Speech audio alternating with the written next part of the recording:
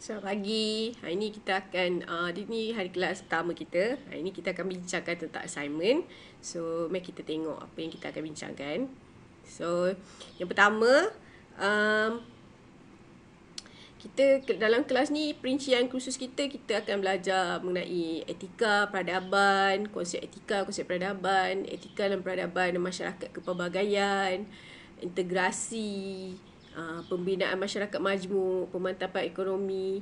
Okey, um, jadi kita ada uh, beberapa topik kat sini. Uh, buku dia, kita ada buku dia. Buku dia kita boleh search dalam Shopee, buku teks. Um, tajuk ni lah, tajuk um,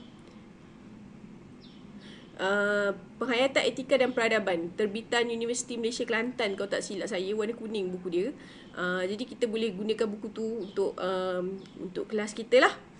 So uh, pentaksiran khusus ni penilaian berterusan 70% proposal so pertama kita ada 10% tu proposal video dan poster.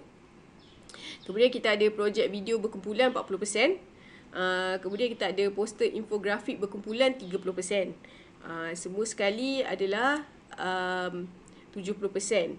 Okay. Um, sorry, 80%. Peperiksaan akhir tu 20%. Ha.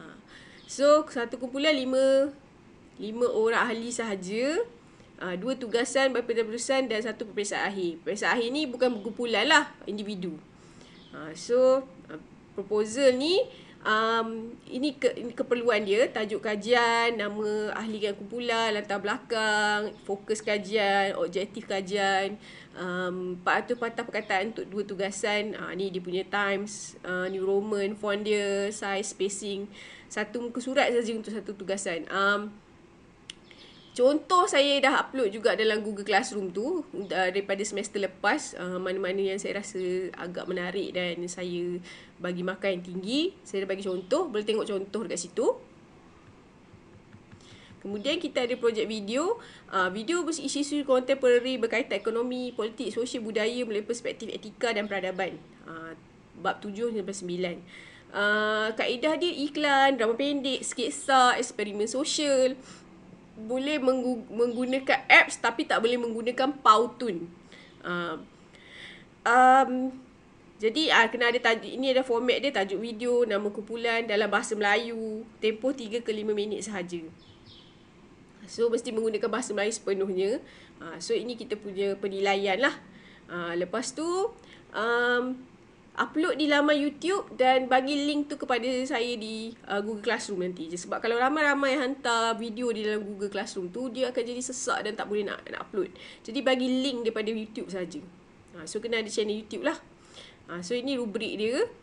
Kemudian kita ada poster infografik. Ha, poster infografik ni um,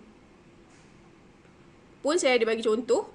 Uh, kena saiz A4, mesti ada tajuk, mesti ada pembentangan, perbincangan, uh, menghuraikan isu-isu uh, apa isu-isu semasa melalui perspektif etika. Ini 30%, tadi tu 50%. Okay, um, uh, so kita ada sampel infografik di sini.